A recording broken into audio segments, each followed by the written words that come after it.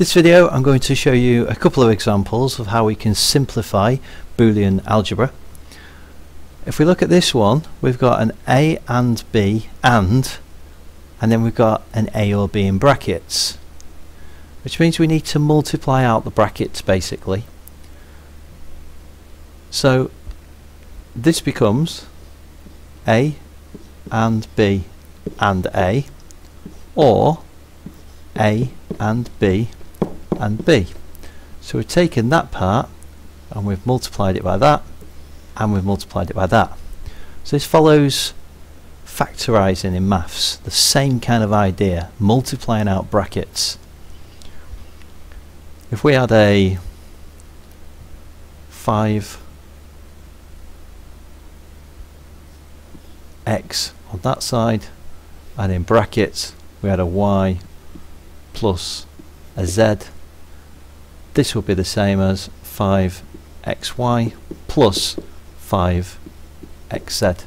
So it's the same idea, the same concept as maths. When we look at this though, we can rearrange it.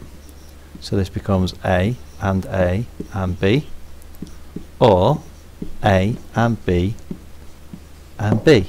I always like to put it in alphabetical order we can then see that A and A is just the same as one single A.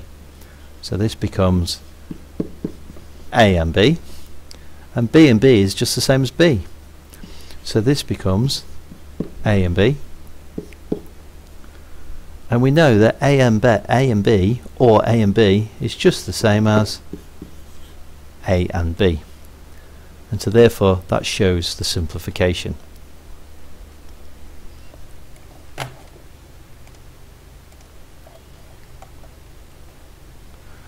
Next example, this one, we can see that we've got x or y and x or not y.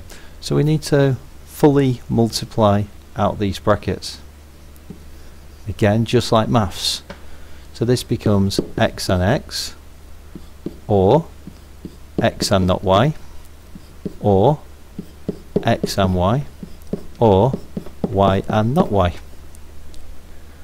x and x is just the same as x.